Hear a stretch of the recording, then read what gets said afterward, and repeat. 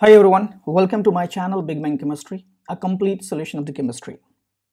In this fourth series of this video lecture, which is the factor affecting the keto-enol tautomerism, we are going to learn the fact that what are the factors which governs the stability of keto-enol tautomerism.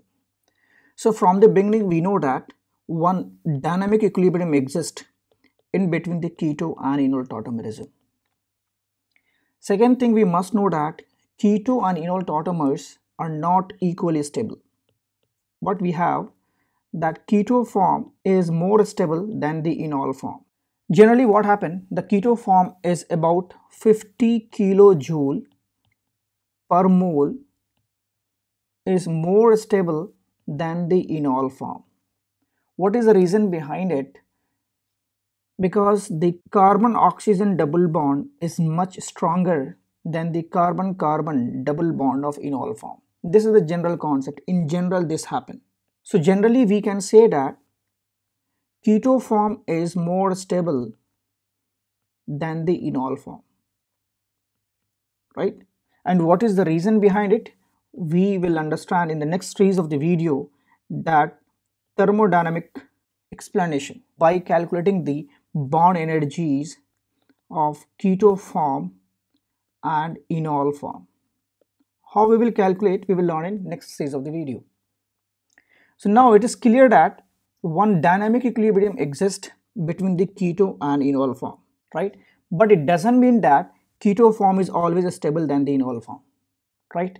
So now we can understand this, this statement with the help of some example. So let's discuss the example number one first. Try to understand the keto enol tautomerism of propanone the structure of propanone is CH3 CO CH3 and when you will check its enol form right which is CH2 double bond C OH CH3 when we do the calculation then we find that the keto content in this compound is 99.99% and enol content is 0.1%.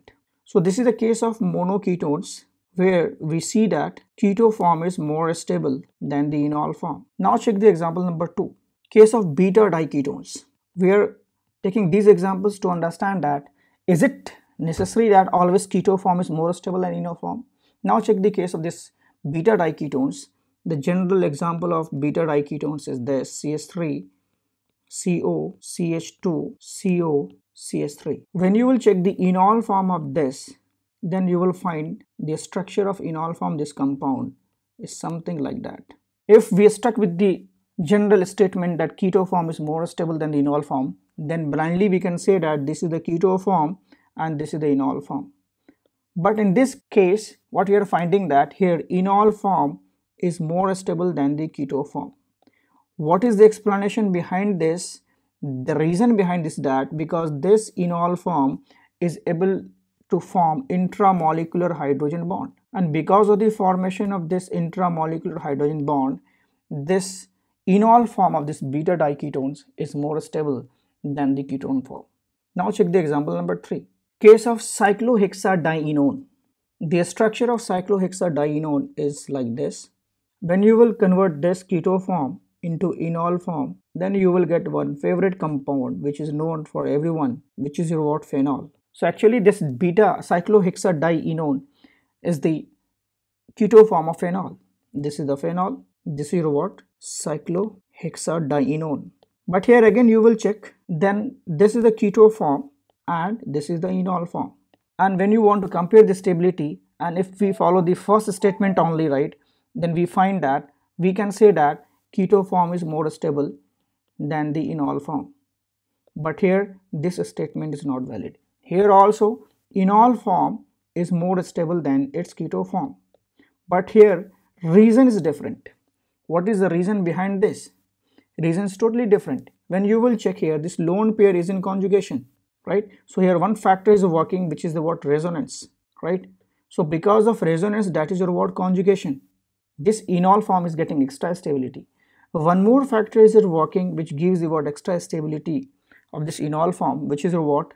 Aromatic character. These two factors are here governing the stability of enol form of this cyclohexadienone. So now from this three example, it is clear that for the stability of keto enol form, there are many factors which can affect the stability of either keto form or enol form. So in the series of this video lecture, we will explain that what are the factors which is going to affect the stability of the keto and enol form.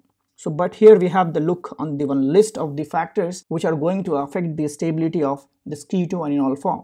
The first factor which is going to affect the stability of keto-enol tautomerism is aromaticity. The second factor which affects the stability of the keto-enol tautomerism is hydrogen bonding. Third factor is nature of solvent. Fourth factor is resonance or conjugation. Fifth factor is substitution. Sixth factor is ring strain. Seventh factor is steric factor. So each factor play an important role in the stability of keto or enol tautomerism. So in different different compound, different factors are working. In this series of the video, we will discuss the different example and we will try to understand how these factors are going to affect the stability of either keto form or enol form.